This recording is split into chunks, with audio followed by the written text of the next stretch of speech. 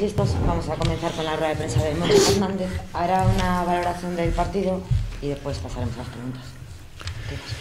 Bueno, es, es difícil valorar el partido si no es empezando por, por el final. ¿no? Quiero empezar eh, dando las gracias a la gente que se ha quedado para, para, aplaudirnos, para animarnos, los que han estado todo el año ahí a nuestro lado, ¿no? un año que, que ha sido, que ha sido duro, difícil y, sin el apoyo de la gente pues hubiera sido muy complicado. ¿no? Teníamos un objetivo que era intentar que este último partido en casa de la temporada pues fuera una, una alegría para, para, la gente. Yo creo que los jugadores bueno, pues lo han intentado, lo han entendido así, se han esforzado todo lo que han podido y bueno, pues hemos sido capaces de, de llevar yo creo que el partido controlado desde, desde el principio, con bastante acierto ofensivo por momentos, hasta que hemos cogido esa ventaja en el tercer cuarto que yo creo que ya ha sido definitiva. Después al final, bueno, pues dos o tres pérdidas eh, seguidas en ataque, un par de rebotes de ataque, bueno, pues ha servido para que la diferencia bajara, pero creo que somos justos vencedores. Pero lógicamente quiero acabar igual por donde empecé, ¿no?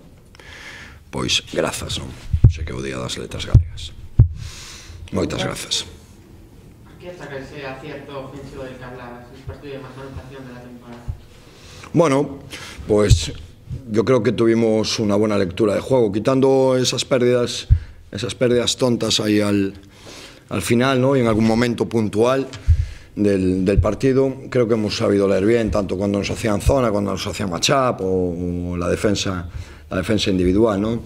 Y metiendo y no metiendo, pues lo cierto es que, que, que hemos encontrado el aro bastante bien, ¿no? Y bueno, pues unas veces metes y otras no metes, ¿no?